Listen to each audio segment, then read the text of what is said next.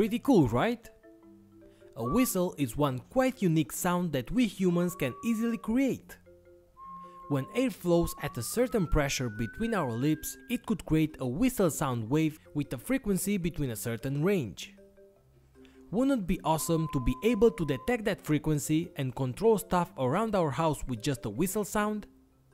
In this video we will see a basic and very easy whistle detecting circuit and also how to control any Arduino module with it. So let's get started.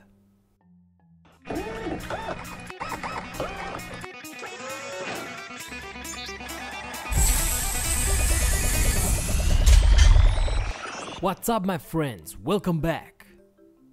This is how the project will go. Using a basic electret condenser microphone, we will detect sound. The microphone will pass the sound wave to an electric wave. Then we should measure the frequency of the audio signal. Usually the whistle sound wave is between 900 Hz and 1.8 kHz, depending on the person and the lips position. Finally, using the Arduino we measure the period of the signal and when the specified range frequency is detected, we activate our loop that for example could turn on and off an LED, or a relay connected to a light bulb, or do anything else. That easy we could control stuff with a whistle sound. So let's start the project. This is an electret film microphone, which are the most commonly used microphones today and they are very low cost. Sound travels through air in a form of a pressure wave. When that wave reaches the inside microphone capacitive plates, that will result in a voltage change. The microphone has an internal transistor that will amplify that signal. So all we have to do is to add a pull-up resistor of 10 kilo ohms in this case connected to 5 volts and the negative pin of the microphone connected to ground. You could identify the positive pin of the microphone looking at these three PCB lines here. I place the microphone on a breadboard and add the 10k pull-up resistor to 5 volts and the other pin connected to ground. Now I connect my oscilloscope probe to the output pin and observe the signal. Once I adjust the oscilloscope, as you can see I can detect sound, but the peak to peak value is very very low and also have a lot of noise. So we definitely need to amplify this signal. For that I've used an operational amplifier, or better said an op-amp. This is the LM324, which is not a high performance amplifier, but it will do the job more than perfect for this easy project. Besides, it has 4 amplifiers integrated in just one chip, and since we need to amplify the signals 2 times, this is great. Ok, so now I connect the output from the microphone to a 10 microfarad capacitor as a high pass filter and in series with this capacitor I'll connect a 1 kilo ohm resistor. The amplifier gain is given by these two resistors and this formula. I want a gain of 100, so the second resistor of this configuration should be 100 times bigger than the 1k ohm resistor. I place the op-amp on the breadboard and add the 100k ohm resistor between the negative input pin and the output, which are pins 13 and 14. Now I supply 5 volts and ground to VCC and ground, which are pins 4 and 11 of the LM324.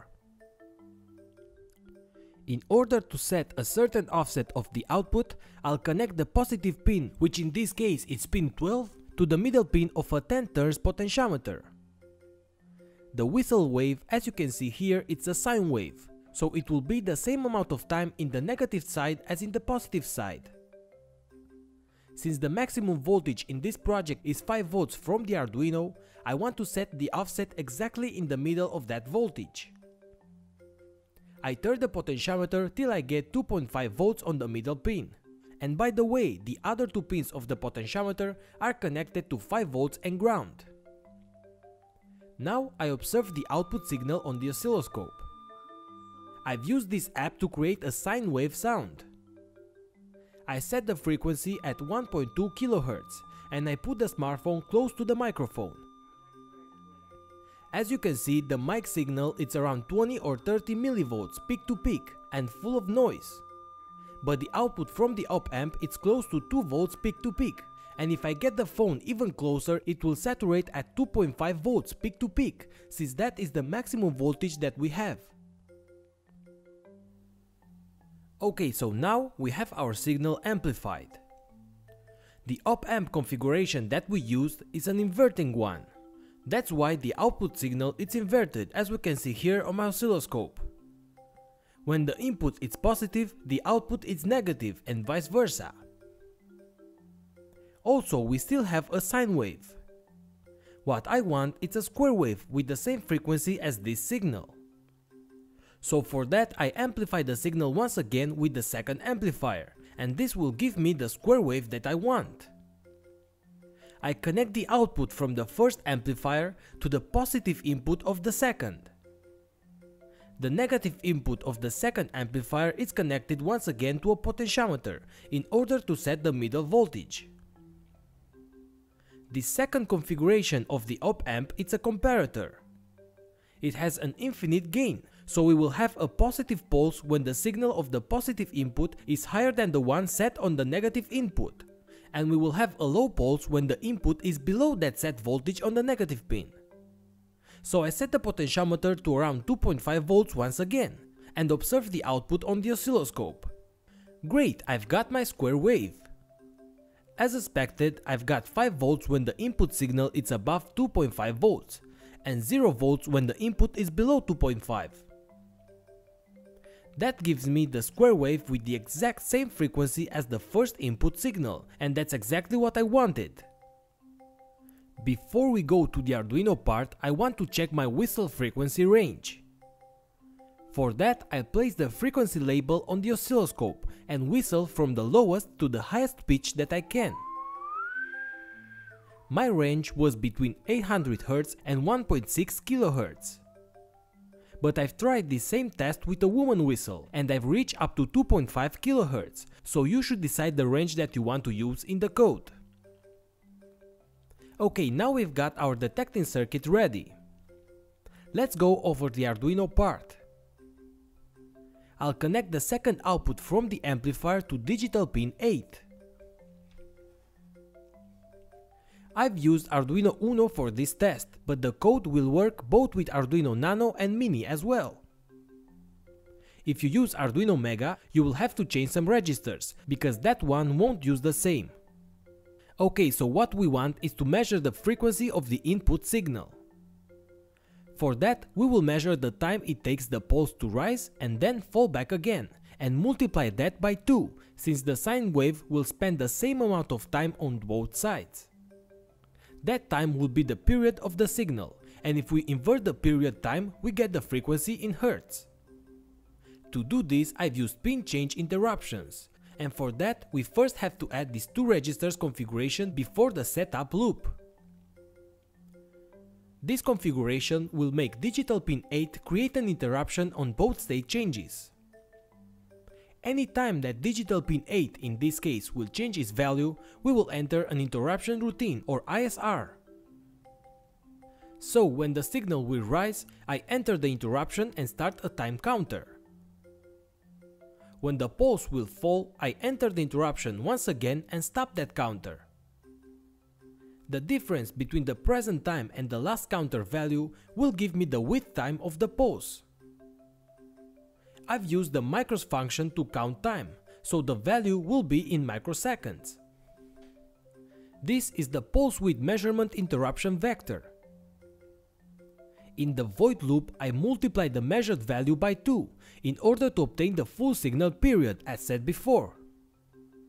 Now I divide 1 by the period and get the frequency. Since I was working in microseconds, I have to multiply the frequency value by 1 million in order to obtain hertz from seconds, not from microseconds. That's it, now I've got the frequency. Using an if statement I detect the range. In my case I set that range between 800 Hz and 1.8 kHz. If the measured frequency is in that range, I will start a new counter, and I'll name that counter pulse counter. That's because I don't want just one square wave to have the desired frequency, because that will result in an error, where any sound could trigger the circuit. I want a bunch of them, one followed by the other. In this way I will make sure that the signal is the one that I want, and not just a random noise. Anytime that the measured frequency is not in the desired range, I reset the pulse counter. In this case I need 16 pulses in a row to have the frequency in the desired range. If I detect that, then I trigger the circuit. Increasing this number will decrease the sensitivity of the detecting circuit. Once the whistle is detected, I trigger digital pin 13 which will be connected to an LED and also apply an analog signal to pin 3 connected to a buzzer. I upload the code to the Arduino and make all the connections, and let's give a test to this project. There you go, you can turn on and off the LED just by whistling. The circuit is immune to any random noise as you can see here. I can play music, random noise in my room, or even clap. Only the whistle sound will trigger this circuit, and that's because the whistle sound is special. It creates a sound wave with constant frequency, equal time on both negative and positive parts of the signal, and also a defined range. So finding a random noise with the same characteristics is quite difficult.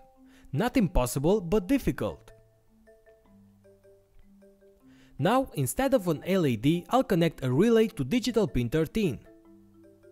By the way, you have all the schematics from this project in the description below, so check those out before starting the project. To the relay I'll connect a 220 volts lamp. Be very careful when working with high voltages and only connect the power when you're sure that the circuit is ready or restrict your projects to a lower power components as 5 volts or 12 volts. Now, anytime that I whistle, I will turn on and off the light of my room. Isn't that nice? The detector works from any corner of my room. I was amazed finding that it detects so well, even when I'm out of the room. I first wanted to make a key finder using this circuit, but the parts are too big to fit them inside of a key trinket, especially when I add the battery in order to be portable. For that case, we should use SMD components, cell battery and probably an ATtiny chip instead of the Arduino in order to keep the project size small.